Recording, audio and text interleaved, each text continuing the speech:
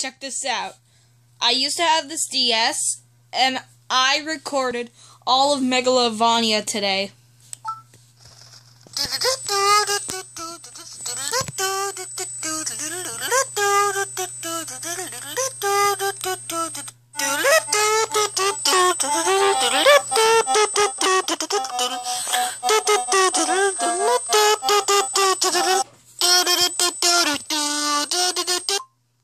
What? I didn't say I recorded all of it.